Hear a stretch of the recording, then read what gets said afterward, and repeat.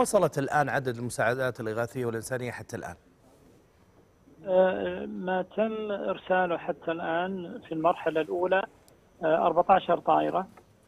كل طائرة تحتوي ما بين 30 إلى 40 طن من المواد آه، والمساعدات التي تركز على هذه المرحلة مرحلة التدخل الإنساني العاجل أو مرحلة الطارئة وهي تركز على القطاع التالي. أولا الأمن الغذائي قطاع الإيواء قطاع الصحة والمساعدات الطبية.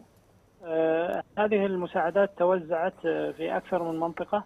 آه، جزء كبير منها ذهب إلى الداخل السوري شمال غرب سوريا. بواقع الأمس واليوم دخلت 44 شاحنة تحمل تقريبا 300 طن من الفحم وكذلك حوالي 50 ألف خيمة وحوالي 50 ألف كذلك فرش وبسط وبطانيات.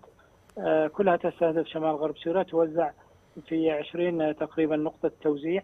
في نفس الوقت آه، ذهبت آه، كمية كبرى لمناطق المتضررة في الداخل التركي سواء كانت كهرمان مرعش أو غازي عنتاب أو آه، أنطاكيا كلها توزعت عليها بشكل عادل ومتساوي. كذلك لا ننسى الطائرات التي نزلت في مطار حلب وسلمت للهلال الأحمر السوري والهلال الأحمر السوري يقوم على توزيعها مع شركائنا الذين نثق فيهم عملنا عملا مع المركز معهم.